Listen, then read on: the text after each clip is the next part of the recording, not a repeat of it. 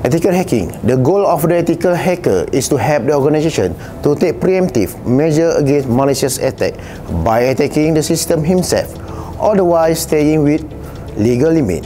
This philosophy stems from the proven practice of trying to catch a thief by thinking like a thief. As technology advances and organization depend on technology, increasingly information assets have evolved into critical component of survival. If hacking involves creativity, and thinking out of the box, then vulnerability testing and security audit will not ensure the security proofing of the organization.